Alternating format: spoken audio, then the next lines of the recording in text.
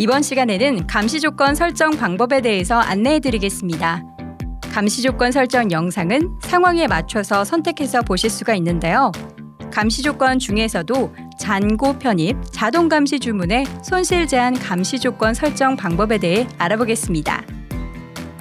잔고 편입 자동 감시 주문을 설정해 보겠습니다. 자동 감시 주문 화면에서 상단 잔고 편입 자동 감시 주문 탭을 선택하고 잔고 편입 조건 추가 버튼을 클릭하면 잔고 편입 자동 주문 설정 화면이 연결됩니다.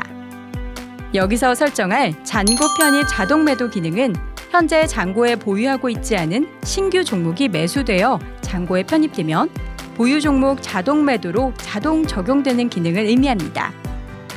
신규 종목이 매수된 이후에는 보유 종목 자동 매도에서 감시 조건을 확인해 주셔야 하고 해당 종목의 감시 조건 수정 및 삭제는 보유 종목 자동 매도에서 설정해 주셔야 합니다.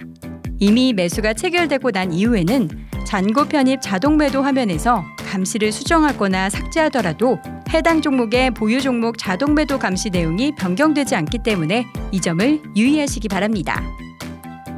왼쪽 상단 유의사항 버튼을 클릭하면 해당 잔고 편입 자동 주문 설정에 대한 유의사항을 확인할 수 있으며 반드시 내용을 숙지한 후 이용하시길 부탁드립니다.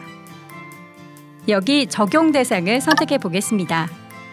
모든 종목, 시세 범위, 종목 구분, 계좌 번호별 구분 중 선택 가능합니다. 다음 감시 기준가는 매입 단가로 고정되어 있는데 매입 단가는 신규 매수를 통하여 계좌 잔고에 최초 편입되는 가격을 의미합니다. 따라서 동일 종목에 대하여 추가로 매수 체결이 되더라도 매입 단가는 자동으로 재계산되지 않습니다. 이 점 반드시 유의해 주시기 바랍니다.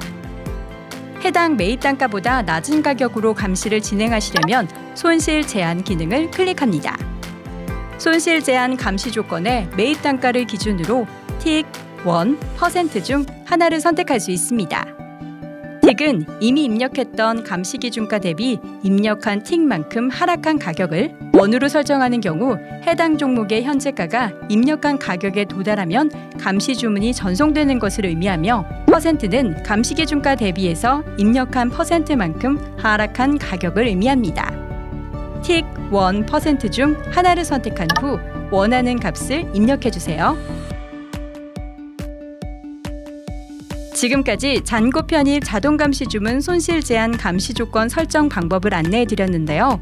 감시 조건 설정을 하고 난 뒤에는 하단에서 주문 설정 및 감시 시작을 해 주셔야 합니다. 감사합니다.